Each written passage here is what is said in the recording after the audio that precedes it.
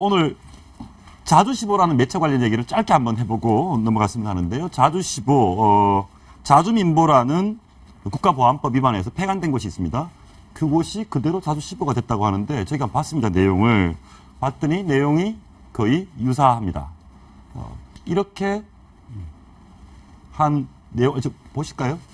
어, 좀 자세히 좀 봤으면 좋겠는데 내용을 보니까 뭐 북한이 엄청난 뭐 골프장을 지었다, 뭐 세, 스페인에서 상을 받았다, 아우지 탄광 얘기는 거짓말이다, 어, 북한은 의리가 있는 나라다. 그러니까 와- 완전히 뭐 북한의 대변인, 북한 정권의 앵무새 같은 얘기만 하고 있는데 저게 지금 우리 신문법의 맹점을 교묘하게 이용하는 건데요.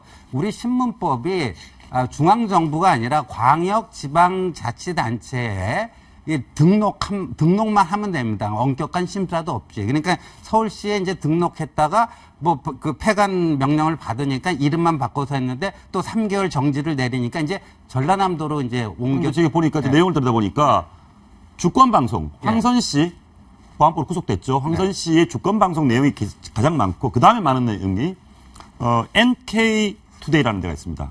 여기는 통진당 광주에서 출마하셨던 어, 이채은 대표 이분이 나와 있었거든요. 네.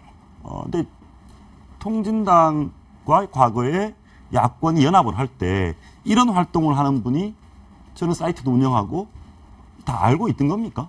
그렇죠. 이 신지호 의원님이 지금 얘기했습니다만 이 신문법이라는 게 허점이 너무 많습니다. 예. 에, 그 어떤 발행인이라든지 예. 또 그다음에 그 등록 지역만 다르면 얼마든지 이름만 바꾸면 이런 그 종북이라고 낙인 찍힌 매체들도 다시 등록이 가능한 거죠. 예. 그러니까 국회에서 이런 점부터 보완을 해야 되는 겁니다. 예. 그러니까 우리가 옛 통진당에 대해서 헌법재판소가 위헌정당이다 이렇게 음. 해서 해산을 시켰지만 얼마든지 뭐 유사정당임을 어느 정도 그 인정할 수 있는 그러네요. 당명만 바꿔서 등록하면 가능하다는 얘기가 나오는데 예. 이 신문법도 똑같거든요. 그리고 이 인터넷 언론 같은 경우에는 이 설립 기준을 제가 들여다보니까 너무 어이가 없습니다. 제가 오늘 한번 찾아봤는데요. 예. 이 사무실 그리고 편집인을 포함해서 상근 인력이 세명만 되면 등록이 가능합니다. 아, 사무실 하나랑 예. 세 명만. 예, 그러니까 예, 예. 이 황선 씨 부부가 함께 운영했던 이런 일종의 1인 사이트도 얼마든지 가능하다는 거죠. 예. 그래서 저는 이제 검찰에 오래 출입했습니다만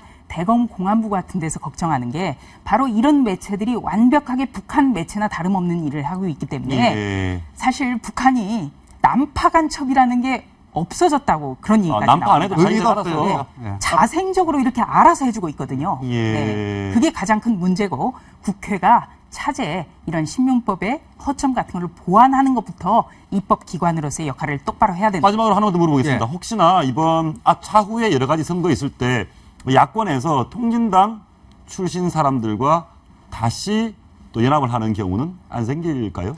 충분히 있을 수 있는데요. 음. 그게 이제 정당으로 따지면 이제 위헌 정당으로 해산됐는데 보면 동일한 유사한 강령을 가진 거는 이제 정당 등록이 금지가 되니까 그걸 또 교묘하게 피해 나가려고 할 거죠. 예. 하겠죠. 그리고 우리가 또 하나 대법원에서 이적 단체로 확정 판결을 받아도요.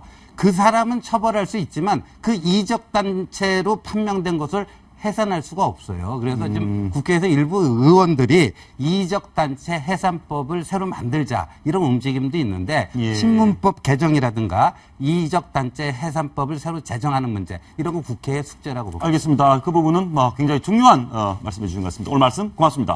알겠습니다.